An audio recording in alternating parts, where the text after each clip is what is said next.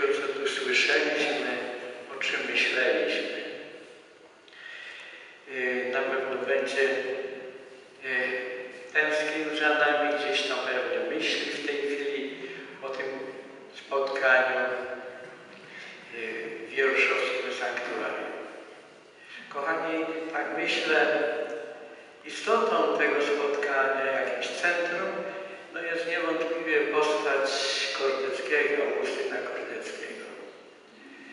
Yy,